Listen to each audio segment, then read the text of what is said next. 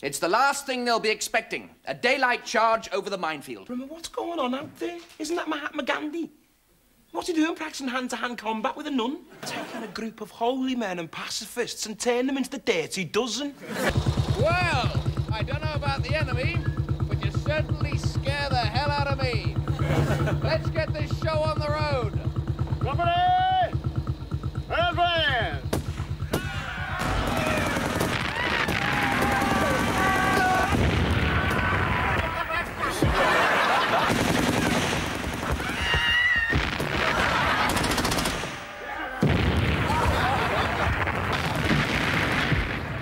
Victory, gentlemen. The fascists have fallen. Oh, what about Arnie's army? Yeah, how many of them made it back? How many survived? Roundabout none of them. Don't you see? The deranged menace that once threatened this world is vanquished. No, it isn't, pal. You're still here.